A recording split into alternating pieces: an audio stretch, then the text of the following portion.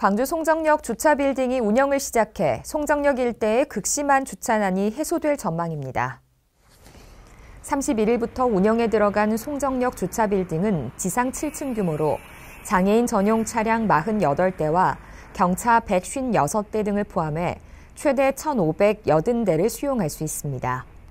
요금은 30분에 1,500원이고 10분당 500원의 추가 요금이 부과되며 1일 이용권은 15,000원으로 열차 이용객은 30% 할인받을 수 있습니다.